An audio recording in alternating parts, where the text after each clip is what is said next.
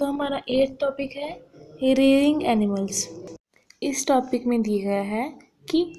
Animal naturally increase हो रहे थे और लोगों ने उनको पालना भी शुरू कर दिया था। ऐसे उनको एनिमल से मिल्क भी मिल जाता था और उनको as a source of food meat भी मिल जाता था। हम अलग शब्दों में कह सकते हैं कि जैसे उन्होंने एनिमल्स को पालना शुरू किया कई बार उनके पास फ़ूड अवेलेबल नहीं होता था तो वो एक एनिमल्स को काट के खा सकते थे as a meat as a source of food